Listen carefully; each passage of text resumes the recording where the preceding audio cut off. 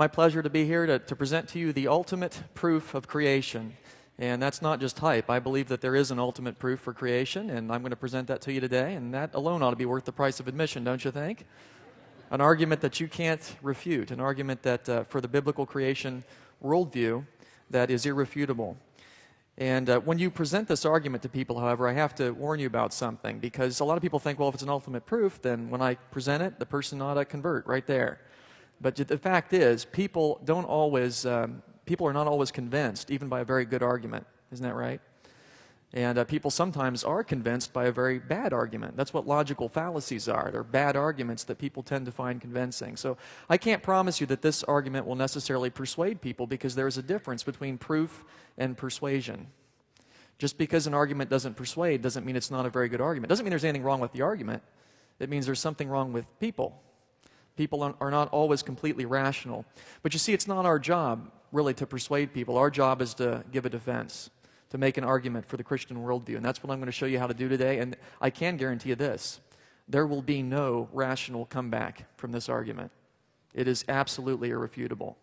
Now, it's a kind of a different way of thinking than maybe some of you are used to, but the fact that it's irrefutable ought to, ought to prompt you to study this and uh, learn this particular method of defending the faith. I'd like to start with some, um, some evidence that is commonly used to confirm creation, and I think, I think this is very good evidence. I'd like to start with information science. Dr. Werner Gitt, one of the world's experts on information science, says there is no law of nature, no known process, and no known sequence of events which can cause information to originate by itself in matter. So that, that sort of makes sense. You pick up a book, it's got information in it, it's got these encoded symbolic messages in there that convey an expected action and an intended purpose.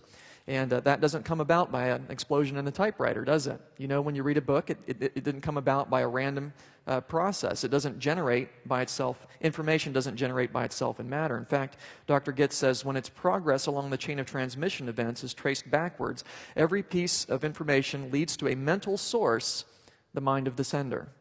So, although information can be copied, and it can be copied blindly, a Xerox machine can make copies of information, if you trace it back, it ultimately comes to a mind, the mind of the sender. That sort of makes sense. You read a book, you know it has an, an author. And that's also very interesting because, of course, in DNA we have information. And all that information are the instructions that make you, your physical form, and perhaps even some of your uh, personality traits and so on and so forth. And the reason you're a person and not a cabbage is you have instructions to make a person, and a cabbage has instructions to make a cabbage.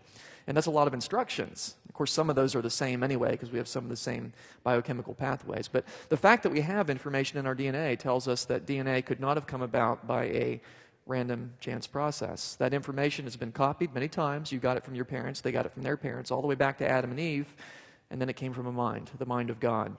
So, information science confirms creation. Mutations won't do it. Dr. Lee Spetner, PhD biophysicist, says that all point mutations that have been studied on a molecular level turn out to reduce the genetic information, not to increase it. Mutations do not add brand new instructions. He says not even one mutation has been observed that adds a little information to the genome. Now, mutations may increase survival value under certain circumstances. That's fine, but they don't add brand new information to the genome. They don't do that. It would violate the laws of information science. Information science, genetics, they confirm biblical creation. And they're not what we'd expect given the evolutionary worldview. So I think that's a great confirmation of, of creation. We could talk about the biblical time scale and the fact that we find C14 in diamonds. And uh, Dr. Snelling talked about that the other night. I think that's a really powerful confirmation of a young Earth because C14 does not last even 1 million years. If the entire Earth were C14, in 1 million years it would be gone. It would have decayed into nitrogen. I didn't even believe that calculation until I did it myself. It's true. It, it, it, C14 just doesn't last that long. And so the fact that we find in diamonds that are supposed to be billions of years old tells us those diamonds are not billions of years old. They're thousands of years old. In fact, it limits the age at a few, a few thousand years. And that, of course, the 58,000 there is an upper limit. It could be much younger than that. So carbon, or C14 in diamonds, and pretty much everything we find in the earth, anything that has carbon in it has C14 in it, it appears.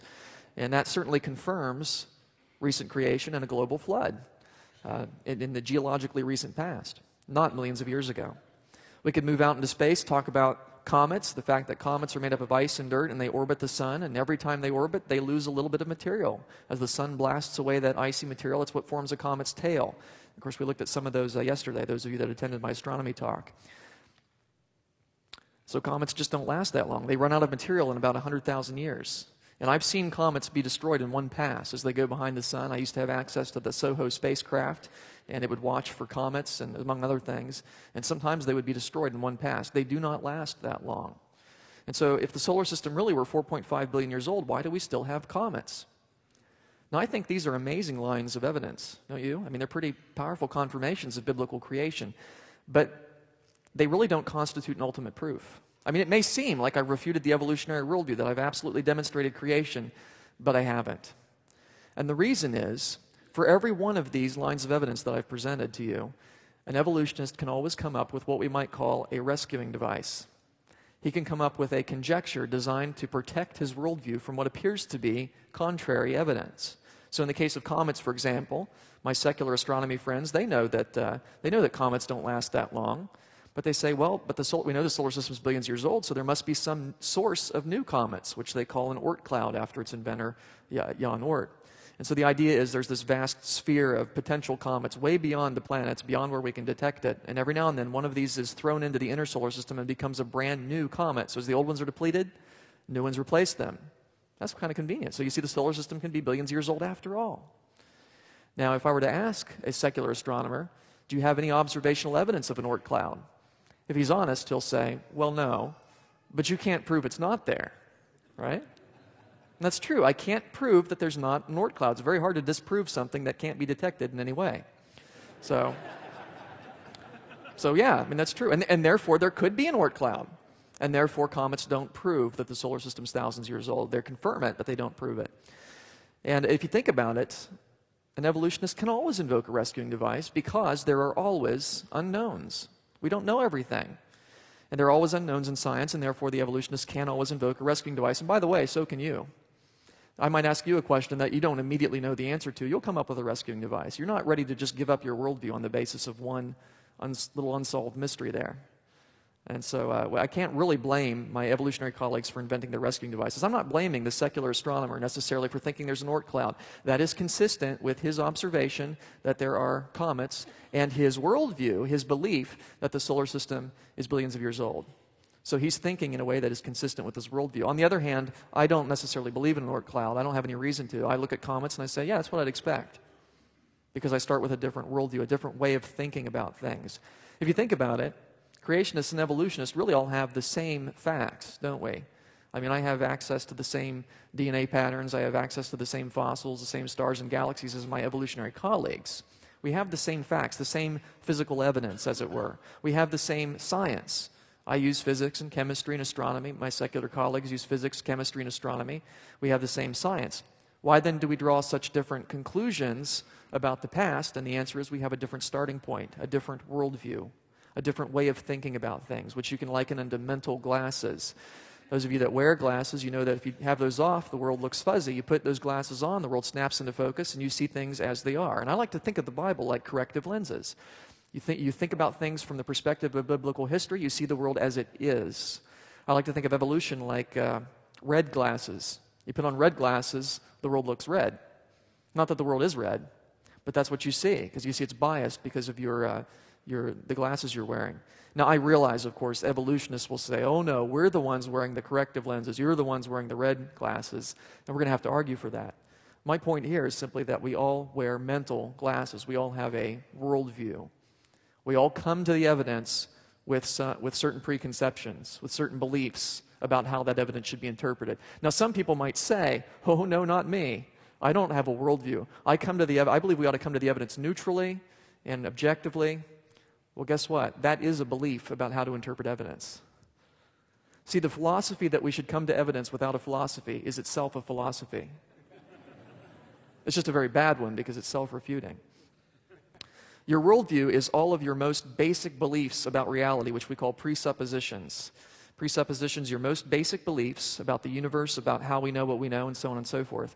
They are the rules of interpretation that we assume at the outset before any investigation of evidence. Before you do an experiment, a scientific experiment or otherwise, before you do anything, you already have certain beliefs about how the universe works. You already have certain presuppositions. For example, the belief that your senses are basically reliable. You take that for granted, that what you see and taste and touch and smell and so on really corresponds to the actual universe. You couldn't do an experiment on a rock if you didn't already believe that. You'd look at the rock and you'd say, well, just because I see it doesn't mean it's necessarily there. So there's no point in doing an experiment on it. You presuppose that your senses are basically reliable, that your memory is reliable is a presupposition. You believe that what you remember actually happened, right? For the most part. Now, if I asked you, how do you know that your memory is reliable? You say, oh, well, Dr. Lisle, that's easy. I took a test two weeks ago. I did very well on it. It was a memory test. Excuse me, how do you know you took a test two weeks ago? See, just because you remember it doesn't mean it happened unless you already presuppose that your memory is reliable. Or law, laws of logic are presuppositions. The fact that uh, the law of non contradiction, you can't have A and not A at the same time in the same relationship. That is a presupposition. You couldn't begin to reason about things unless you already took it for granted that there are laws of logic. That's a presupposition. Now, here's the key creationists and evolutionists have different sets of presuppositions, different worldviews, different rules for interpreting the evidence. And that's very important to understand because the battle really isn't about evidence, it's about how evidence ought to be interpreted. And we have different standards by which we interpret the evidence. Now, for the creationist, the Bible is the ultimate standard by which evidence should be interpreted. I'm not saying that all creationists do have the Bible as their ultimate standard, I'm saying they should. The Bible should be our ultimate standard in reasoning. Now, I have secondary standards as well. I do believe that my senses are basically reliable. But that's not my ultimate standard because I know my senses can be fooled. You take a beam of wood, for example, and put it in water at an angle, and it looks like the wood bends when it goes under the water because of the way the light refracts. Now, you don't believe your eyes in those circumstances, do you? You don't believe the wood actually bends just because you see it. Because you have a greater standard that solid things stay, stay solid even underwater and under most circumstances. You have greater standards than that. And ultimately, we'll come back to an ultimate standard, which I argue ought to be the Bible. The Bible should be our ultimate standard. What about the evolutionist? What is his or her ultimate standard? Well, it actually depends on which evolutionists you ask, because there's not one single evolutionary worldview, but, but commonly naturalism is the ultimate standard for the evolutionist. The, the nat- naturalism is the belief that nature is all that there is. There's nothing beyond the natural world. If it cannot be explained by physical processes, it doesn't exist. And then there is also empiricism. That's another ultimate standard that might be used by, by many evolutionists. And sometimes they believe in a combination of these two, but one of them is obviously more ultimate than the other. Empiricism is the belief that all truth claims are answered by observation. If you want to know something, you go out and look, go out and do an experiment. That's how you answer all truth claims. Of course, I believe many truth claims are answered that way, but not all of them. Let's talk about evidential arguments. And by that I mean an argument that, that leaves, that, that attempts to leave worldviews out of the discussion and simply talk on the basis of individual evidences. Uh, evidence by itself, however, will not resolve a worldview conflict. Why is that? Because your worldview tells you what to make of the evidence. You see, that's, that's, that's, why that, uh, that's why evidence by itself is not going to resolve anything. It's not decisive. It's not that people don't have enough evidence for creation. The Bible tells us everyone has enough evidence for the Creator God in Romans 1. Everybody knows that. The problem is they suppress the truth in unrighteousness. And, and God tells us there's no excuse for that. So it's not that people don't have enough evidence. Their, their presuppositions tell them what to make of that evidence. And I want to give you a silly example just to drill this home. There was a man who was convinced that he himself was dead. He thinks he's dead, and he's very upset about this. He doesn't like being dead. Who would? And his doctor is trying to convince him, look, fella, you're, you're perfectly healthy. I mean, you know, you, are not dead. You're, you're walking and talking. And the guy thinks about it and he says, Yeah, but you know, people can have muscle spasms even after clinical death. That could explain my ability to walk and talk. And the doctor says, But look, I have medical charts showing you're perfectly healthy. The guy says, Yeah, but you know, who knows if that's who knows if you're interpreting that properly? And uh, in any case, uh, maybe that's not even my chart. Maybe the name got swapped. And the doctor says, Okay, I, I'm going to prove to you that you are not dead. Do dead men bleed? The guy thinks about it for a second. Well, the circulatory system would be stopped. No, dead men don't bleed. And, and the doctor very quickly takes a little pin, pricks the guy in the hand. Sure enough, blood comes to the surface. The doctor says, See, you're bleeding. To which the man responds, Well, how about that? I guess dead men do bleed.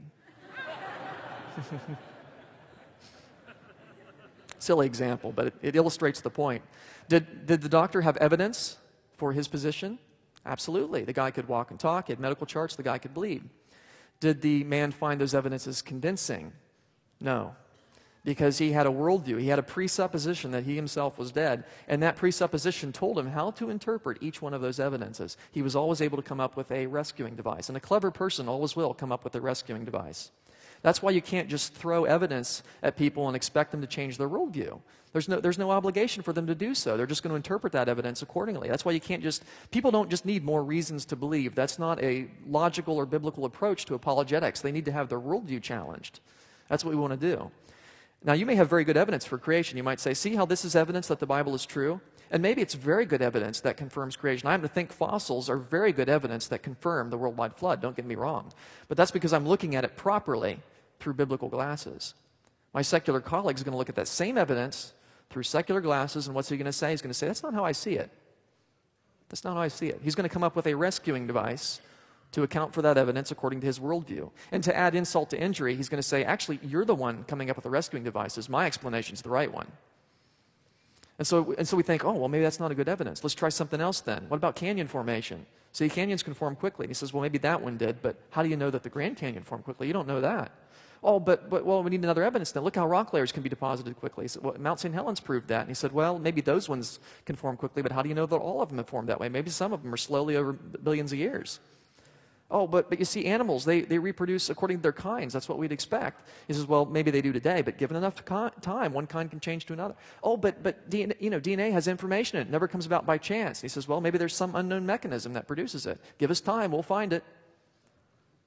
Oh, but, you know, there's comets out there. They don't last billions of years. Oh, but there's an Oort cloud, he says. Now, it's not wrong to show people that there's evidence that is consistent with God's word and confirms that. In fact, I think there's value in that. But evidence by itself is never decisive because you always require a worldview to tell you what to make of that evidence. Therefore, a philosophically astute person will not be persuaded by mere evidence.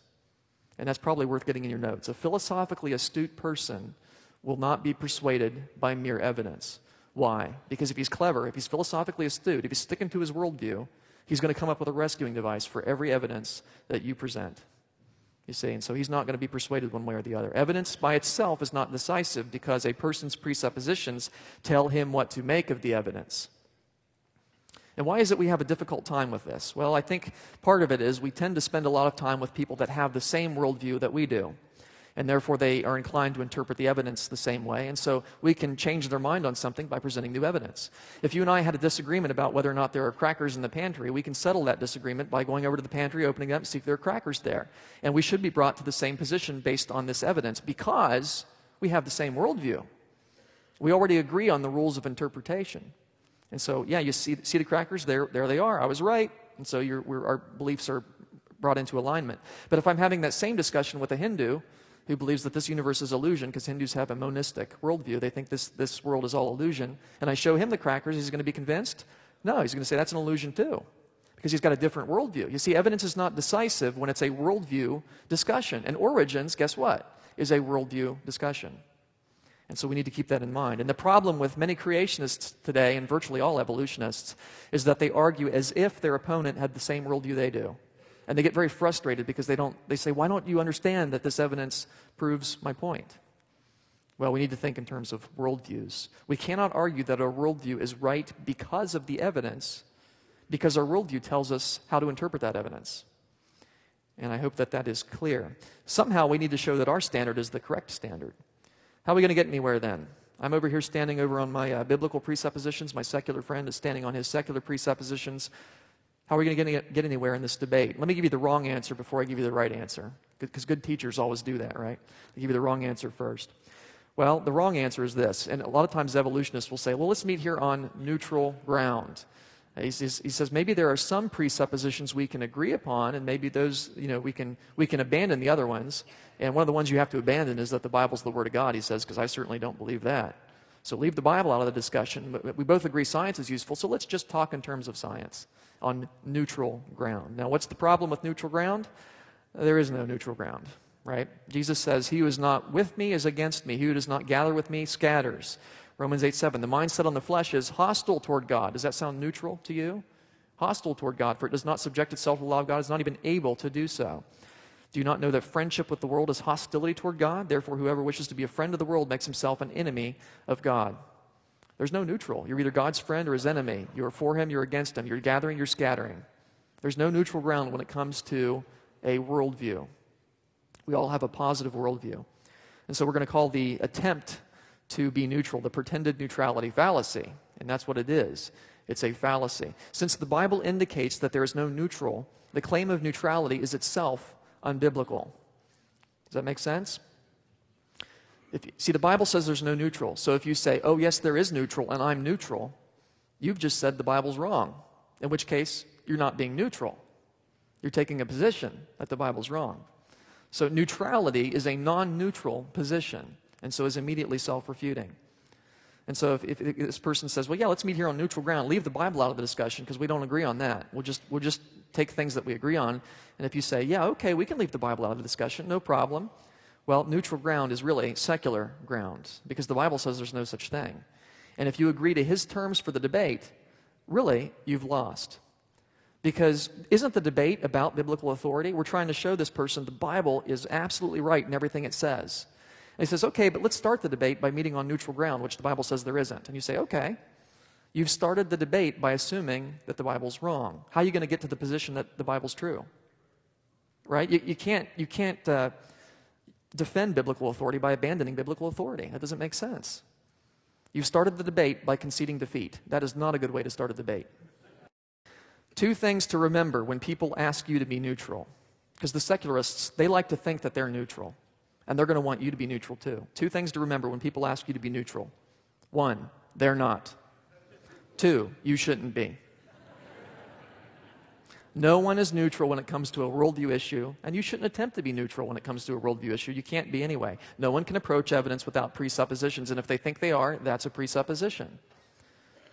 We're to, we're to stand on the word, hold fast the word, both to exhort in sound doctrine and to refute those who contradict. We stand on the word while defending it. Now, some evolutionists, well, and even some creationists will say, well, you can't do that because that's circular reasoning. You can't stand on the Bible while defending it.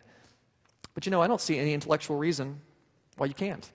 In battle, you can stand on a hill while you're defending the hill, right? You, have you ever had something in your eye and you go to a mirror, you can, you can, you know, look in the mirror like that? You can use your eye to examine your eye and correct your eye. And so it's not, it's not a vicious circle to uh, stand on the Word of God while defending it. And by the way, the evolutionist stands on evolution while he's defending it anyway. So think about that.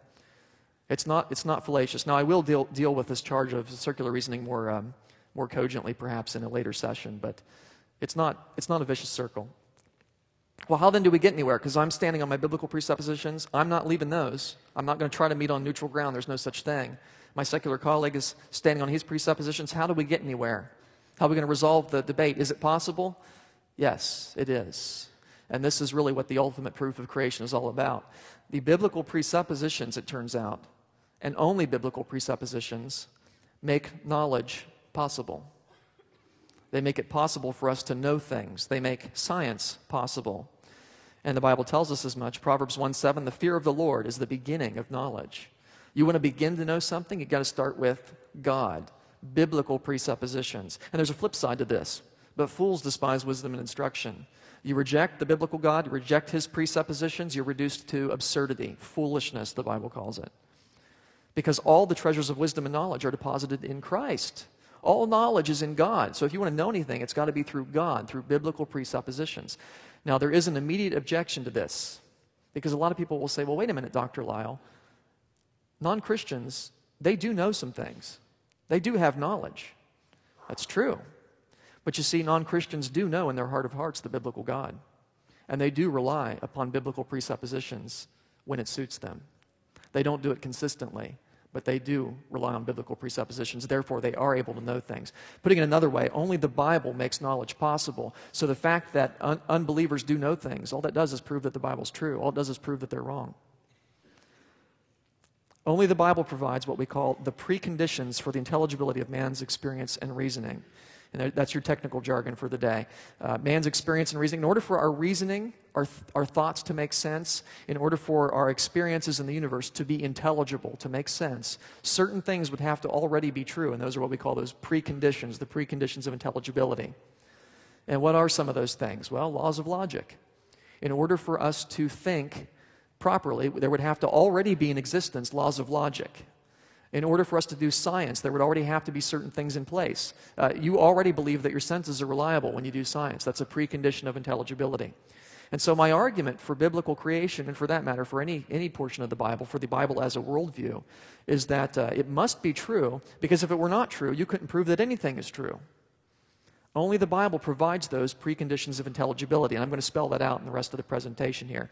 There are certain things we rely upon in order to know anything.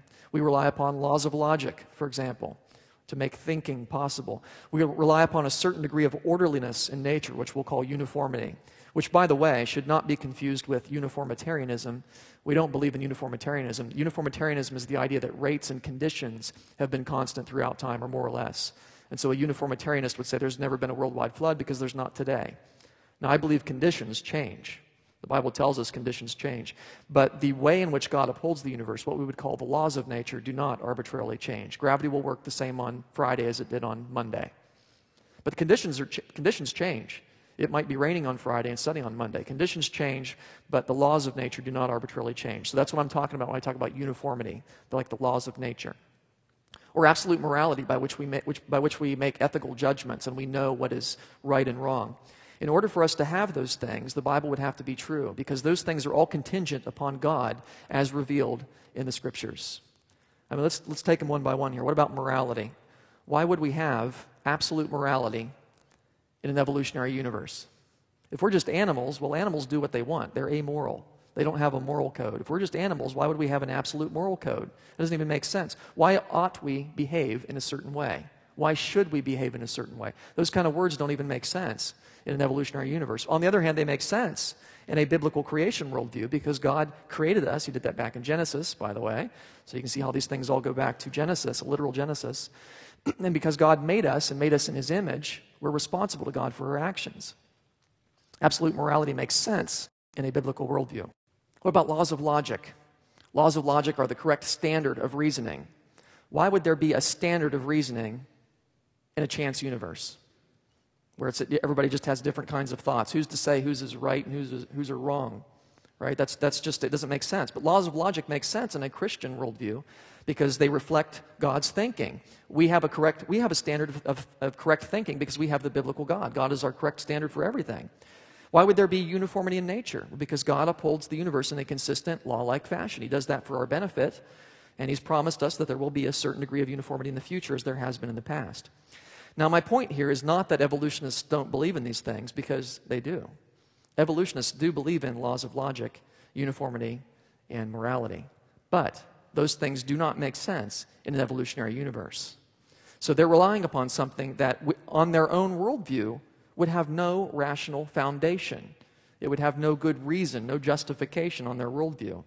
And so, because when you, when you present this argument, a lot of times the evolutionists will say, well, wait a minute, I don't even believe the Bible, and I, I can use laws of logic. I say, I know, but the fact is, if your worldview were true, you shouldn't.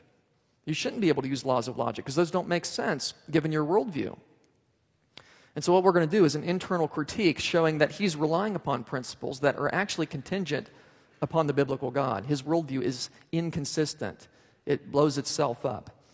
And uh, just to illustrate this, on the surface, it may seem like we have two competing worldviews. We've got the biblical worldview and the secular worldview. Take your pick. You like the Bible, you like naturalism. You like blue, you like flame color. But we're going to find when we examine these up close, when we open up the hood, as it were, the biblical worldview makes sense. It's going to go somewhere, it's going to lead to knowledge. The secular worldview, when we examine it, it's not going to rationally work, it's not going to go anywhere. It cannot lead to knowledge. And I want to give you some quick examples of this before we go in a little more depth. Relativism. Want me, to, want me to disprove relativism here? It's not hard. Relativism is the belief that all things are relative, there are no absolutes.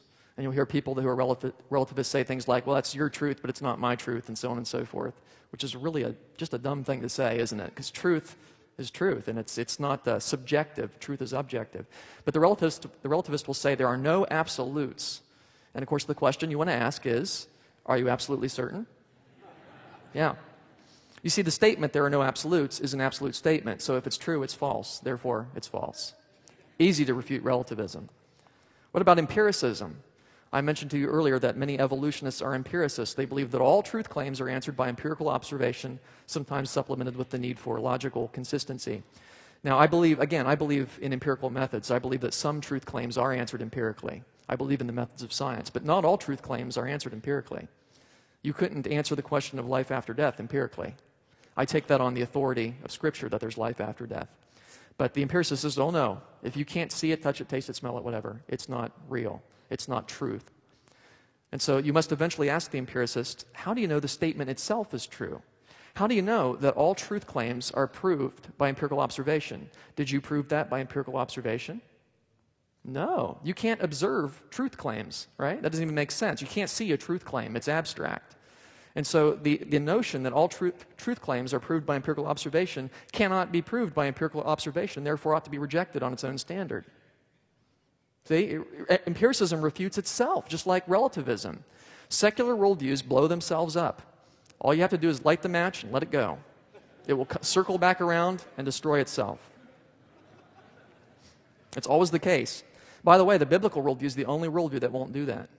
The biblical worldview is the only one that when you apply it to itself, it's self consistent. It doesn't blow itself up. All secular worldviews do. So at first, it may seem like we, we're on our own little island over there on biblical presuppositions, and my secular friend is on, over on his own little island over there, secular presuppositions. At first, it may seem like we have no common ground. There's no neutral ground. We've already established that. But you see, the point is, secular presuppositions are sinking sand. They will not support a cogent worldview. Only the Bible can do that. Only the Bible is the, the rock upon which we all must stand. And so when that sand dissolves away, the unbeliever is left standing on nothing. Well, Dr. Lisle, are you saying that all non Christian worldviews are irrational? Yes. All non Christian worldviews are ultimately irrational. Now, they may have pockets of rationality within them. Nobody is you know, just, well, I mean, there might be some people that are just totally insane, but for the most part, people have degrees of rationality. But ultimately, they can't support their, their own notions, you see. And so, what is this unbeliever going to do? He can't stand on his own worldview, so he's going to do this. Unbelievers will stand on Christian presuppositions when it suits them because they have to. They couldn't get anywhere without these Christian presuppositions like laws of logic. Unbelievers do accept and use laws of logic, and in doing so, they're standing on Christian ground. And they're, they're able to do this, by the way, because they do know in their heart of hearts the biblical God. God has wi- hardwired into all of us knowledge of His law, His moral law, laws of logic, and so on and so forth. And we're able to do that. We're able to reason because God has planted that within us. But the point is, the unbeliever is standing on Christian ground and then denying Christianity. He's in self denial. And when we point this out to him, when we point out he's in self denial, his first response will be to de- deny that he's in self denial. He'll say, Oh no, laws of logic are not a Christian presupposition they are secular or maybe neutral. He says, after all, I, I believe in laws of logic. I don't even believe in the Bible. But of course, that's not a, that's not a good argument. I'm, I'm pointing out that if, you, if the Bible were not true, there'd be no basis for laws of logic. So, what we want to do is point out his inconsistency. We want to point out that he is standing on Christian ground. He's standing on God's ground. He either needs to get saved or stop trespassing. And, uh, you know, get, get your own laws of logic. Stop borrowing God's. And we, you know, we pray he'll be saved, but that's between him and God. We're just going to point out the inconsistency. And I want to give you another example to illustrate this. A debate over biblical creation is a lot like a debate on the existence of air. Can you imagine two people arguing whether or not air exists? What would the critic of air say? Can you imagine this person making this eloquent argument that air does not exist, all the while breathing air and expecting that we can hear his arguments as they're transmitted through the air? That'd be kind of strange, wouldn't it? You see, the critic of air must use air in order to make a case against air. The fact that he's able to argue at all proves that he is wrong. Likewise, the critic of the Bible must use biblical presuppositions in order to argue against the Bible. The fact that he's able to make an argument at all proves that he's wrong. Because you see, the, the uh, secularist is standing on Christian ground using God's laws of logic to try and argue against the Christian position. Now, that is not going to work, is it? That, that his position is self refuting. And so, to illustrate this, I'd like to zoom in on a few of these preconditions of intelligibility laws of logic, uniformity of nature, absolute morality. We'll probably have time to do two this morning. Let's, let's start with absolute morality. I think this is the easiest to understand. It's a good one to start with if you're new to this, this way of uh, apologetics. If God created us, He has the right to set the rules. Otherwise, why not make our own rules? Well, that, that's pretty obvious, isn't it? In the Christian worldview, God is good and is the standard of goodness. But uh, if it's just you know, if we're just rearranged pond scum, why not do what you want? And by the way, it has to be the biblical God because it's the God who created us and who has revealed himself to us in his word. It's got to be the biblical God. Can't be some other. And I'll talk a little bit more about that later on. If Adam is in your past, if God made you, who owns you? God does. Who has the right to make the rules? God does. And so you end up with absolute morality. Absolutes from God. God sets the rules. If ape is in your past, if you're just rearranged pond scum, why not make your own rules, right? You own yourself, and you can determine your own rules. And so we end up with relative morality. Man sets his own rules. Now, some people might say that's right. Morality is relative. You can make up your own rules, and so can I, and, therefore you can't go around telling other people what not to do. And the moment they say you can't tell other people what not to do, what are they doing? telling other people what not to do. Okay. So relative morality is pretty well self refuting just right there. It's, it doesn't make sense. And nobody really believes in relative morality. So here's what you're going to do you're going to ask an evolutionist or anyone who's rejected biblical authority how do you decide right from wrong? Because apart from the biblical God, morality can only be relative, but people cannot live that way. And people know in their heart of hearts that morality is not relative. Now, some people will say, oh, come on, Dr. Lisle, everybody knows right from wrong. To which I would respond, yeah, that's because God has revealed himself to human beings, and so in our conscience, we know right from wrong. But my point is, in an evolutionary worldview, why would there be such a thing as right and wrong, and how could you possibly know about it? Say everybody knows is, is not answering the question. Now, I want to give you some possible responses to this. Not that there are any good responses, but that's the point. I want to show you that the best responses to this are not rational. Some people might say, oh, you don't need God to determine right and wrong because morality is what brings the most happiness to the most people. That's a pretty common response from the atheist camp, though it's not universally their response. Now, some, some of you might be thinking, well, yeah, that's right. We ought to be concerned about the happiness of others. To which I would say, yes, in the Christian worldview. Right? That's the golden rule. We're to do unto others as we'd have them do unto us. So even here, he's borrowed on the Christian worldview a little bit to support his own. But my point is, in an evolutionary universe, why should I be concerned about the happiness of others? If they're just rearranged pond scum, why should I be concerned about their happiness? right? Happiness is just a chemical reaction in the brain if you're an evolutionist, so why should I try to achieve that particular chemical reaction and not another, like, say, pain? Maybe what's good is what brings the most pain to the most people, right? I mean, it's just, this is totally arbitrary and totally impractical, too. How could you possibly measure this? I mean, how do you, how do you know what brings the most happiness to the most people? Do we have little you know, meters on our arm telling us how happy we are?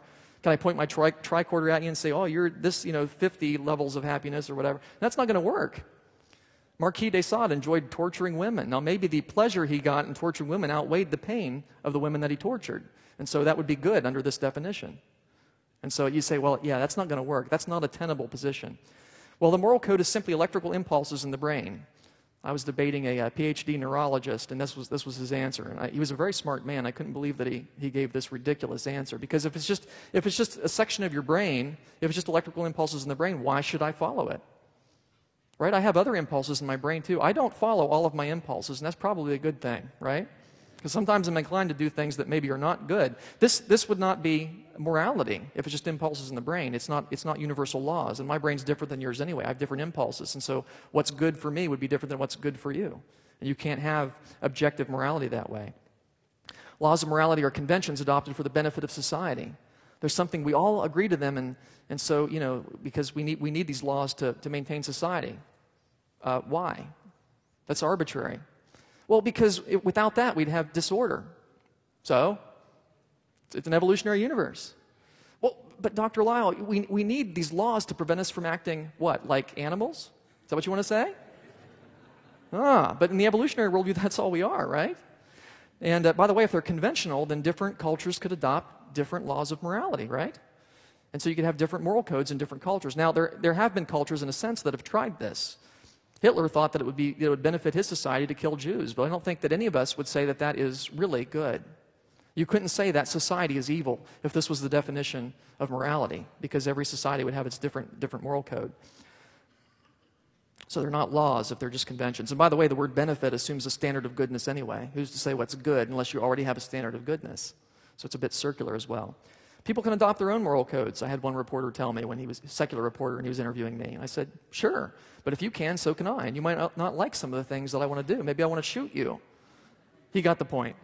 He got the point. He realized that you can't have universal, objective moral laws if they're just something that people invent. And just to drill this home, consider an evolutionist who is outraged at seeing a violent murder on television. He says, How could that man shoot that little girl? That's terrible. He ought to go to jail. But he's an evolutionist.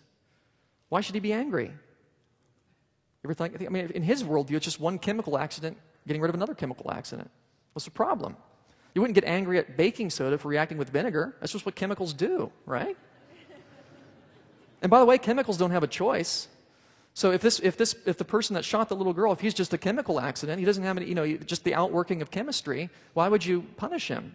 You wouldn't punish baking soda for reacting with vinegar. It's just what it does. You wouldn't throw the lion in, in jail for killing the antelope, right? Animals kill animals. What's the big deal?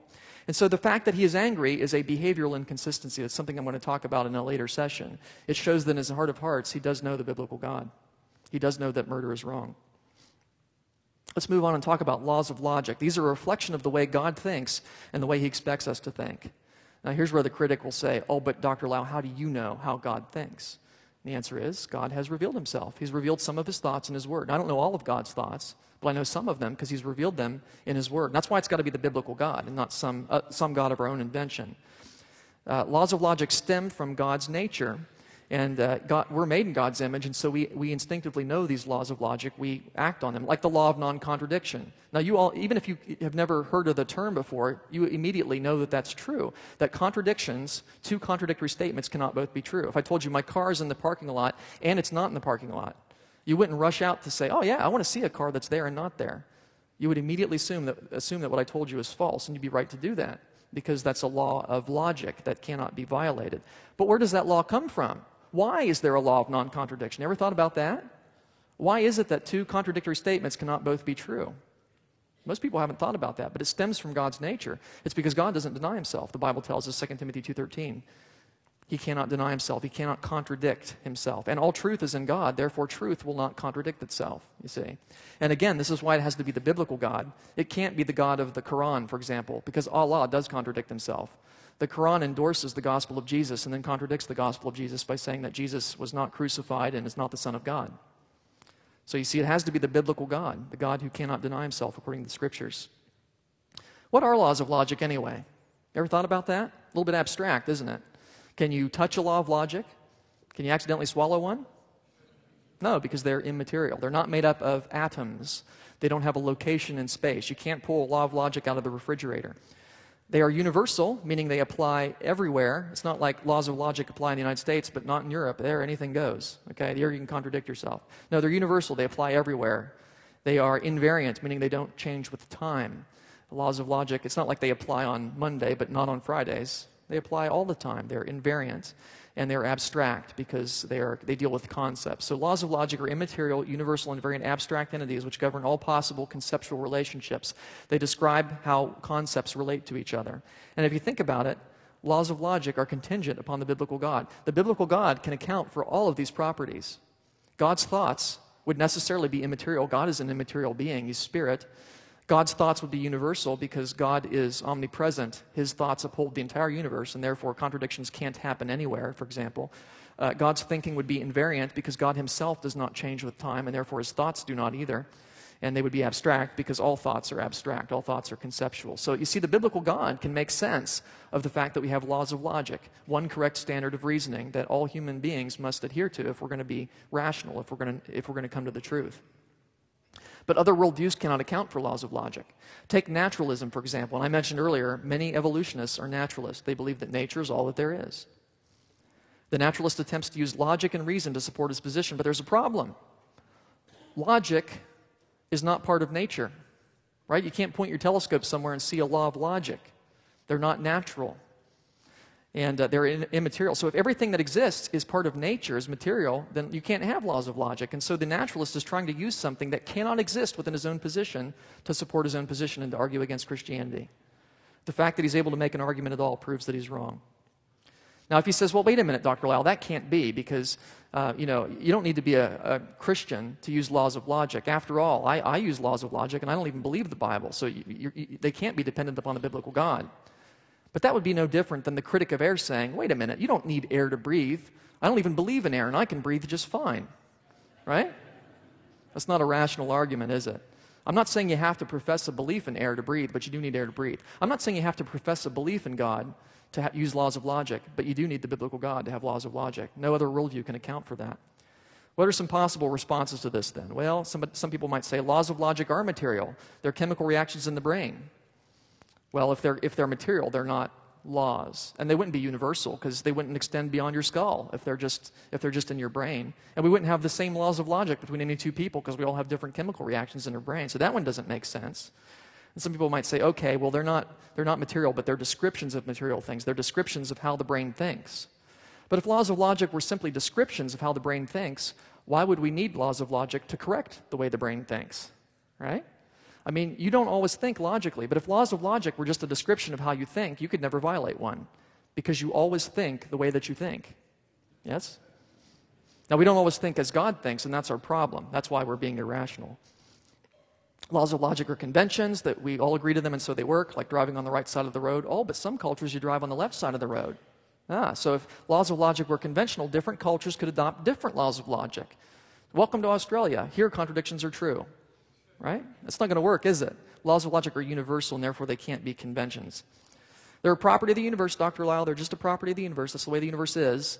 It's not much of an answer, really. But if they were actually, if they were a property of the universe, well, the universe changes with time. And so we'd expect laws of logic would change. They wouldn't be invariant. And the universe is different in different places. We'd expect different parts of the universe would have different laws of logic. Laws of logic aren't even describing the universe anyway. They're describing concepts, abstract concepts. And so it doesn't make sense for them to be a property of the universe. One person told me this. He says, Well, we use them because they work. And I said, I know, but that's not my question. My question is, how can you account for them in an evolutionary worldview? I know they work. They work because they're true, but why are they true? Why are there these universal, invariant, abstract entities that we call laws of logic? I can account for that as a Christian, but my secular colleagues cannot. They're having to use something that does not make sense in their own position to support their own position. Now, how do we take this information and use it practically? In, say, a debate with a critic of creation. And I want to show you what I call the don't answer, answer strategy. Now, I've written some articles on this, so maybe you've seen this before. If you haven't, this will revolutionize the way you do apologetics. It's very powerful. It comes right from the Bible, it's a strategy for defending the faith. And by the way, God knows how to defend the faith. So we ought to, uh, we ought to heed what the Bible says about how to defend the faith. It's based on Proverbs 26, 4 and 5. Proverbs 26, 4 says, Do not answer a fool according to his folly, lest you also be like him. And I have to point out that when the Bible uses the term fool, it's not just engaging in name calling. It's not just saying, well, you're just a fool. Okay? It's using that term to describe someone who is dense, someone who is perhaps very intelligent, but who refuses to use his intellect in the way that God has intended. And so when I use that term, that's what I'm, that's what I'm meaning as well. We shouldn't go around calling people fools, but the Bible says if they haven't, if they haven't accepted biblical authority, they are. We need to keep that in mind. Now, we're not to answer the fool according to his folly. We're not to embrace his standard, his presuppositions. Otherwise, what? We would be like him. And so, if somebody comes to you and they've got silly presuppositions, which we're going to represent here as such, and for example, this person says, let's leave the Bible out of the discussion. Well, that's a silly presupposition. Why would we leave the Bible, the inerrant Word of God, out of any discussion, especially one that deals with origins? That doesn't make sense. Let's leave the Bible out of the discussion. If you say, yeah, okay, we can leave the Bible out of the discussion. Well, then you've become like him. You've answered the fool according to his folly. You've embraced his presuppositions, and now you've become foolish too. Now, where are you going to go? You've conceded what you're trying to prove. You're not going to go anywhere. So never buy into the presuppositions of the unbeliever. But then the next proverb says, Answer a fool according to his folly, lest he be wise in his own eyes. And that may sound like a contradiction, but it's not because the sense is different. Uh, we are not to answer the fool according to his folly in the sense of embracing his presuppositions, but we are to answer him according to his folly in the sense of showing where his presuppositions would go if hypothetically they were true. We're going to reflect back to him his own philosophy so that he can see how absurd it is and therefore cannot be wise in his own eyes. It's kind of like I'm not going to live in your house. I'm just going to step inside for a few minutes, destroy all the furniture, and then leave. Okay? It's just a temporary uh, refutation of your worldview, an internal critique, which I mentioned earlier. So somebody comes to you and says, There are no absolutes. There are no absolutes. So you can argue with me, but you can't use absolutes because there, there are no absolutes. Now, you're not going to embrace that standard. Don't answer according to his folly, but you are going to answer him according to his folly by reflecting that philosophy back to him and saying, Well, actually, if there were no absolutes, you couldn't say there are no absolutes. You see how silly you're being? Okay? You're reflecting that philosophy back to him so he cannot be wise in his own eyes. He sees the absurdity of his own presuppositions. Very powerful strategy. Let me show you how it works on a silly example and then some more realistic ones. Suppose somebody says, I don't believe in words. Prove to me creation is true without using words, because I don't believe in words, so you can't use words. And I, I, use that because it's a lot like the people who say, oh, you can't use the Bible because I don't believe in the Bible. And a lot, of, a lot of creationists would say, oh, you don't believe in words, I guess you can't use words then. I guess we'll have to use charades or something to prove that creation is true. No. Don't answer the fool according to his folly. So follow that don't answer, answer strategy. First of all, you're going to use the don't answer part. You're going to say, I don't accept your belief that words don't exist. I don't accept your standard. Now, by the way, you don't necessarily have to say that, but, but in some cases, maybe you do. Make it clear that you don't accept, you don't embrace his standard. But then do that internal critique, reflect it back to him, and say, but for the sake of argument, if words didn't exist, you couldn't argue anyway. The fact that you were able to make your case demonstrates that it is wrong. You just used words to tell me you don't believe in words. Don't you see how absurd that is? Reflecting back his philosophy to him. That's a great argument. What's he going to say now? If he says nothing, your point stands unrefuted. If he says anything, he proves your point. You see? It's a great way of arguing, an irrefutable way of arguing, really. Don't embrace the presuppositions of the unbeliever. Never put on the suit. But do reflect it back to him so that he can see the absurdity of his own position. And let's take that, that uh, strategy now and apply it to the areas of knowledge that we've already talked about logic and morality and science and so on. Suppose somebody says, I believe in naturalism. They're probably not going to be that, up, that upfront about it. You're going to have to listen and figure out their worldview. But it becomes clear they're a naturalist. And he says, Show me logically how the earth could be 6,000 years old. You're, I hope you're mentally zooming in on two words logic and naturalism. Because we already saw those two things don't go well together, do they? If you're a naturalist, if nature's all that there is, you can't have universal immaterial invariant entities like laws of logic. And so now what we're going to do is use the don't answer, answer strategy to expose the absurdity of this person's worldview. We're going to say, well, first of all, I don't accept your belief in naturalism. So I'm not even going to attempt to prove creation on your standard. But for the sake of argument, if naturalism were true, you couldn't prove anything because you, you can't have laws of logic if you're a naturalist. You see how powerful that strategy is? Because it goes right to the heart of the issue fast. How about this one? He's, he says, uh, You can't take the Bible seriously, it's full of contradictions. Ever heard people say that before? And we're inclined to say, well, show me one and I'll try and explain it to you. And it, it, it, might be, it might be fitting to do that once or twice, but eventually you must get to the don't answer, answer strategy and say, well, first of all, I don't accept your claim that the Bible has contradictions. In my worldview, the Bible's the Word of God. It can't have contradictions because God doesn't deny himself. But for the sake of argument, and here's a powerful question most Christians don't think to ask. For the sake of argument, why in your worldview would that be wrong? Oh, well, everybody knows contradictions are wrong. Well, I know contradictions are wrong because they're contrary to the nature of God. But my question is, how do you know that contradictions are always wrong? Why would you have a law of non contradiction? Well, I've never seen a true contradiction. Well, I've never seen a total solar eclipse, but that doesn't mean they're impossible, right? How do you know that contradictions never happen? I know that because God's knowledge is universal and therefore, the fact that God does not deny himself tells me that there is a universal law of non contradiction. But how do you know that? That's a question you won't be able to answer, I guarantee it. Some people say, well, it's wrong to teach creation in schools. You're lying to children. Think of the children. Don't teach creation.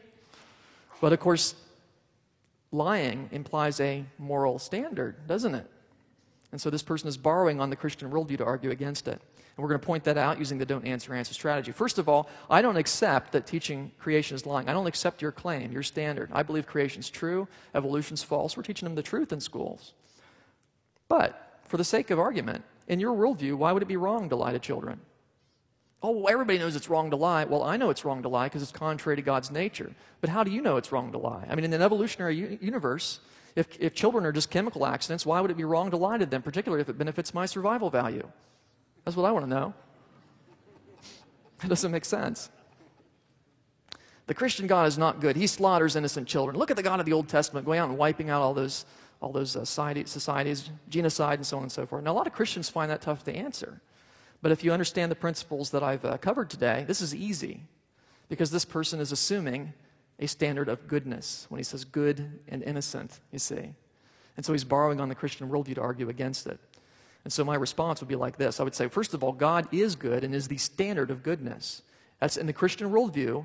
It doesn't even make sense to say that God isn't good. It's like saying Dr. Lisle isn't very Dr. Lisle ish, right? I'm as Dr. Lisle ish as I can be because I'm fully Dr. Lisle. God is as good as he can be because he's fully God. God defines what good is. But for the sake of argument, apart from God, how can you determine what is good and who are innocent? And that he cannot do. That can't be done apart from the Christian worldview. If you understand this principle, you can take any argument that's waged against Christianity and show that the argument itself would not make sense unless Christianity is true, all the way back to biblical creation. And you'll learn to see these inconsistencies that people come up with. And uh, I, you know, I think of Richard Dawkins, the guy that goes around preaching atheism, right? I mean, here's a man who is convinced that it's his purpose in life to convince people that there's no purpose in life. You see the inconsistency there? It just doesn't make sense. Secular worldviews always blow themselves up. And if you can see that, you're going to see how this guy is not going to be successful in destroying the, the Christian position. He's only going to destroy his own. If you understand that, you can agree with the Apostle Paul in 1 Corinthians 1.20. Where is the wise man? Where is the scribe? Where is the debater of this age? Has not God made foolish the wisdom of the world? Indeed, he has. 1 Peter 3.15, sanctify Lord God in your hearts. That's the key. And always be ready to give a defense to everyone who asks you a reason for the hope that's in you with meekness and fear. And if you, boy, if you understand this, you can give a powerful defense of the Christian worldview, an irrefutable defense of the Christian worldview, because any counterargument would have to use God's laws of logic, the uh, science, which is possible because of God, God's upholding power, or some sense of morality. And so any argument against Christianity presupposes Christianity. It really does. And if you understand that, you've got a powerful defense of the faith. You, there will be no rational comeback. Can't guarantee the person will convert. That's not your job. As, a, as my um, as a, uh, my uh, teacher, really, Dr. Bahnsen liked to put it, he said that it's not our job to open people's hearts. That's the Holy Spirit's prerogative. It's our job to close their mouths. That's what we do. We're giving a defense of the faith. And if they convert, that's up to God. And uh, as we get better and better at this, and I, I guarantee you, it does not take long to get good at this. This may sound a little bit abstract or philosophical. It does not take long to learn this, really. It's, it's not difficult. And you will be able to slice and dice your opponent, I guarantee it. But. Um, and as you do that, it's all the more important that you remember the last part of this verse with meekness and fear, with gentleness and respect. I've been kind of blunt in the answers I've given because they're hypothetical, and I want you to get the point.